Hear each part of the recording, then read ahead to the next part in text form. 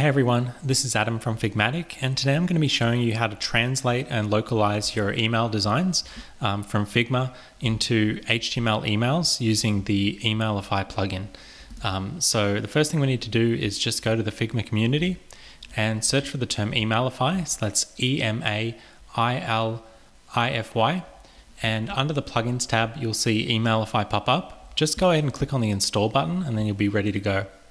So I'm just going to jump back into my Figma file. I'm going to right click anywhere, go down to plugins and click on Emailify.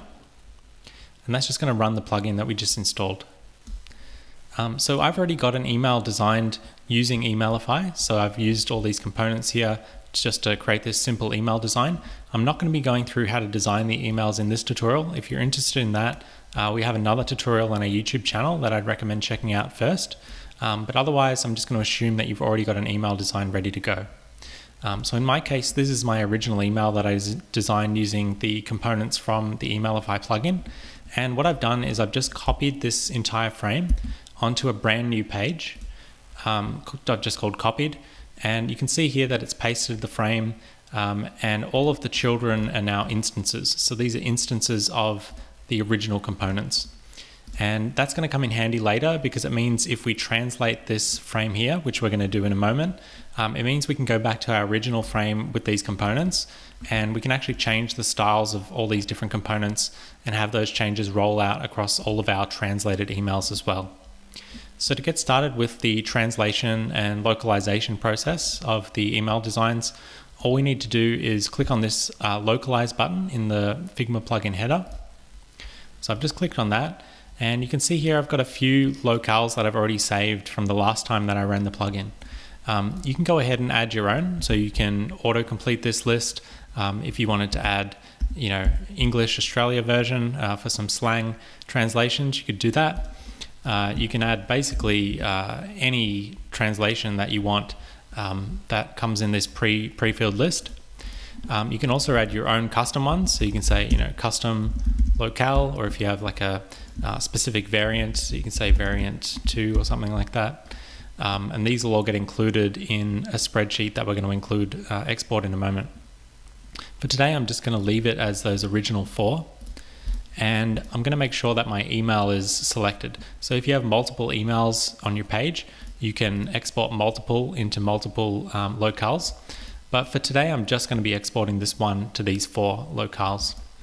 So all you need to do is click on the export to Excel spreadsheet button. So I'm going to do that now. And this is going to export all of the text content from our design in Figma out to an Excel spreadsheet file.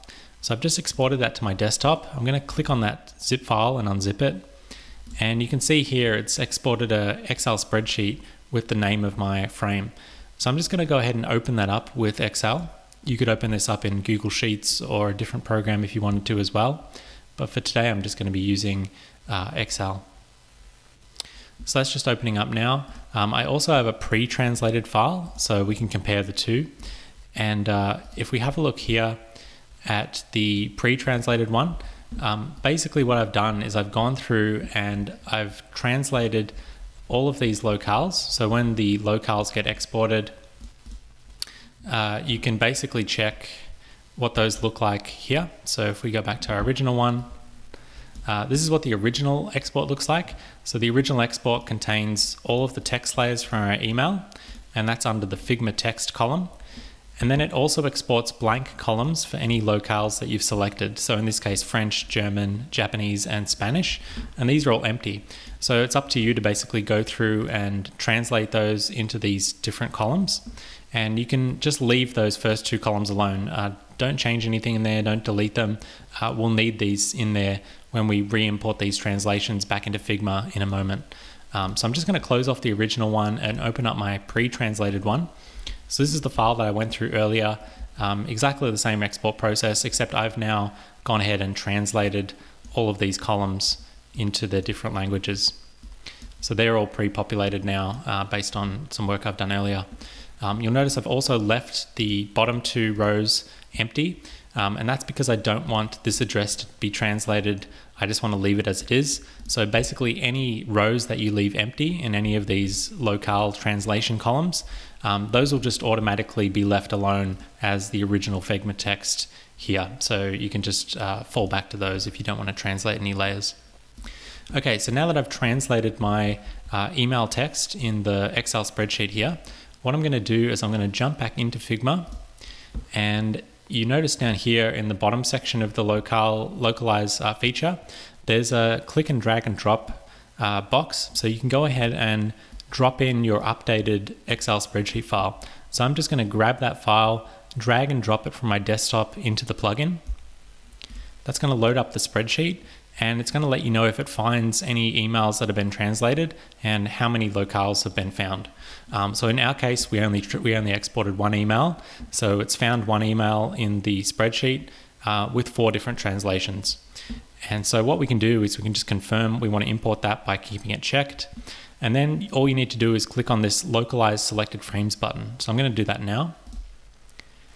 And that's just loaded up all of the translations from our Excel spreadsheet back into Figma. Um, so let's run through what that's just done together. So um, if you remember, we had our uh, instance that we exported to the spreadsheet. We opened that spreadsheet, we edited it, and added some translations in there. And so what the plugin has done is it's read that Excel spreadsheet and it's automatically duplicated uh, those frames into translated versions, uh, localized versions with the text layers that we specified in that spreadsheet. So you can see here what it's done is it's created a brand new page. It hasn't modified the original design. It's just created a copy uh, of the frame and then created another copy of each frame with those translations that you specified in the spreadsheet. Um, so it's got this little translations box uh, in the file name, in the page name, um, and then it's adding in a timestamp to tell you when that page was imported. Um, and then we've got our designs right here. So those are automatically added for us. And you can see that all of the text has been translated directly as we specified in the spreadsheet. And because we're using auto layout on basically all these design elements, the button widths and the text widths and heights and things like that um, automatically fit to readjust with that updated copy. Um, the other neat thing is that you'll notice inside of this layer here, which is actually an image layer, um, because we originally added a text layer inside of the image. So if we jump back to our original uh, component, you can see in here we've got a text layer that's just kind of floating around inside of that frame. Uh, so we can move that around and that'll update in the components over here as well because they're instances. Um, but those also get updated because they're just text layers. So that even though they get exported as images, the text inside of the images also get updated, uh, which is really cool. And as I mentioned, because these are instances of that original component, if we go back to our original design uh, with the component layers, if I wanted to change these buttons, for example, uh, I can do that. I can just uh, select that fill, select a new fill, I can change the text color. And if I now swap back into my translations, you'll see here that all of the translations have also been reflected uh, with that design update because these are instances of that component. Um, so it's a really cool way to roll out not only translation changes, but design changes to a bunch of translations after you've already imported it. Um, and you, if you decide you want to uh, update those translations again, um, you can go ahead and export that um, page again, or you can just update the file you originally exported and just drag that back in. So if we drag it back in, uh, I'm just going to drag the same file back in, and basically that's found the same frame. So I'm just going to click localize again. And you can see here what it's done is it hasn't modified our original translation page. Uh, it's just created a brand new page with a new timestamp uh, with brand new instances too. So you could either delete that page uh, if you don't need it anymore, or you can just uh, keep them both and keep them as versioned translations if you prefer to do that as well.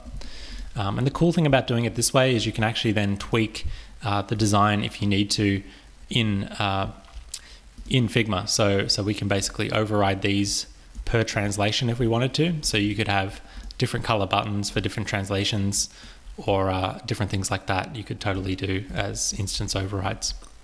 Um, but the best part of this process, really, at the end of the day, is now that we've translated these into multiple uh, localized Emailify frames, um, these are basically production ready because they're based off of our original Emailify design.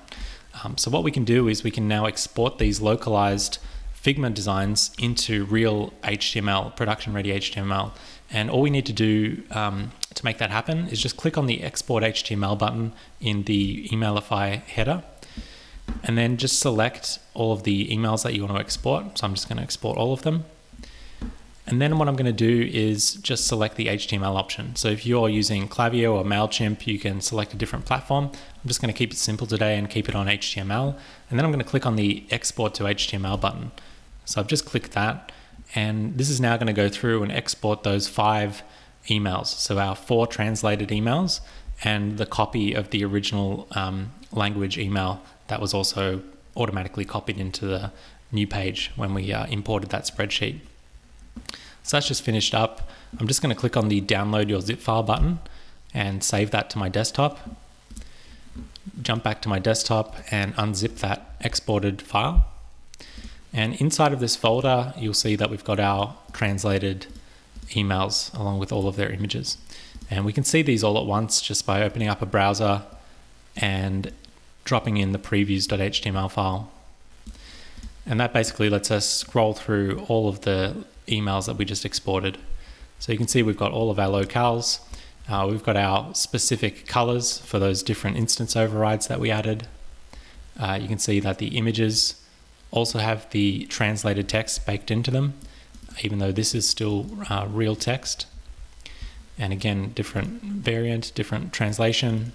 That's the German localization with the different color button.